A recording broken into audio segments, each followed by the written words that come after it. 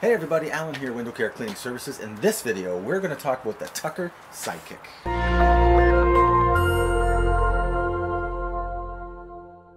Now, the Tucker Sidekick is the latest trad pole offered by Tucker.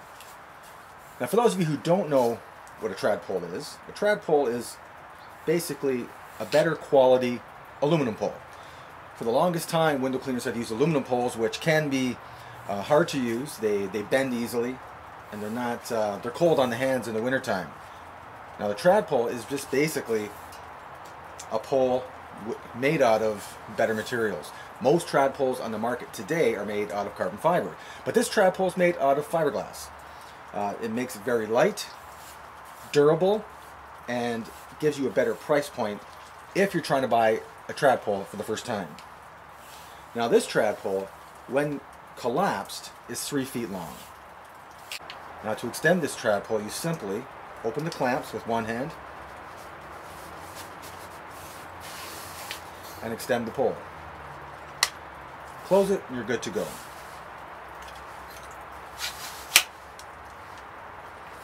It comes with a removable pole tip. Now it's a wooden tip, so that means the tools will fit on with a friction fit and they won't go anywhere once they're connected. You can unscrew this wood tip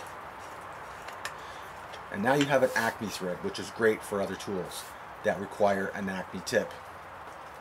Simply screw the wood tip back on, and you're good to go. At the end, we also have an end defender, which is basically a plastic with a it's kind of like a rubber soft finish, which is great for if you're inside, say, a car dealership and you're doing some inside windows. You're, not, you're more than likely not going to dent or scratch that car. Now, who would buy a trad pole like this? A six foot a six foot trad pole is probably all you're going to need if you're going to be a storefront window cleaner. If you're a guy who's just starting out, you're working on your car, this fits nicely uh, behind the seat, behind your front seat, making it easy to, to carry around. Also the price point. There are some carbon fiber poles that are great that are on the market today.